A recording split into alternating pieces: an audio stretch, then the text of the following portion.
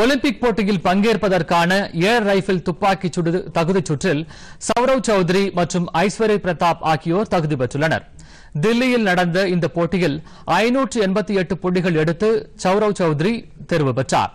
மற்றொரு சுற்றில் மனு பாக்கர் மற்றும் யசஸ்வினி சிங் தேஜ்வால் ஆகியோர் எட்டு மற்றும் ஒன்பதாவது இடங்களை பிடித்தனர். ஆண் பெண் இணைந்து விளையாடும் ஐம்பது மீட்டர் தூர துப்பாக்கிச் சுடும் போட்டியில் ஐஸ்வரி பிரதாப் ஆயிரத்து நூற்றி எழுபத்தி எட்டு புள்ளிகள் எடுத்து தேர்வாகினாா்